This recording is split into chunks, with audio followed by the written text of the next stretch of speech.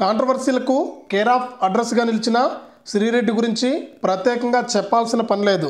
అయితే ఈమె ఎప్పుడూ కూడా మెగా కుటుంబంపై ఆగ్రహం వ్యక్తం చేస్తూ ఉంటుందన్న విషయం అందరికీ కూడా తెలిసిందే. ఇకపోతే ఈమె మొదటిసారి వైసీపీ పార్టీ నాయకుడికి ఎదురుగా పవన్ కళ్యాణ్కు మద్దతు ఇచ్చింది.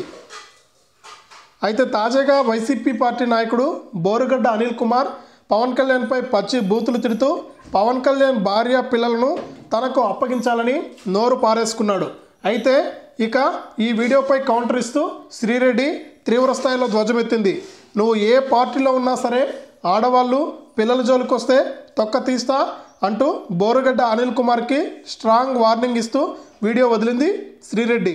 అంతేకాదు ఆడపిల్లలతో ఆడాలతో పిల్లలతో నీకేం పని? మూడు పెళ్ళిళ్ళు చేసుకున్నవాడు దమ్ముంటే వాడిని తిట్టు కానీ వాడి పిల్లలు పిల్లం ఏం చేశారో అని అనిల్ అనిల్ని అయితే మాట్లాడటం జరిగింది. ఇక వైసీపీ పేరు చెప్పి రౌడీజం చేసే వాళ్ళకు బాంబు బజాయించాలి.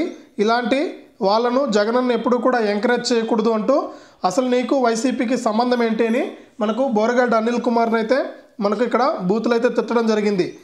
నరుకుతాని బెదిరిస్తున్నాడు. పోలీసులు అతనిపై యాక్షన్ తీసుకోవాలి. ఇంట్లో వాళ్ళపైకి రావడం ఏంటి? పవన్ కళ్యాణ్ భార్య పిల్లల్ని ఇలా బెదిరిస్తే వాళ్ళు ఊరుకుంటారా?